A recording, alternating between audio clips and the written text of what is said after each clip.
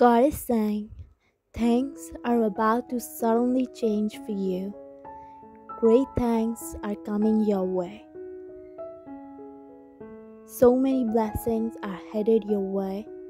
The rewards for your patience, dedication, and trust will be paying off soon.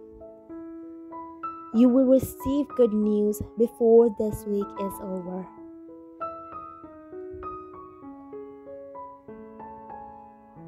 Type Amen. And please don't forget to like, share, and subscribe to this channel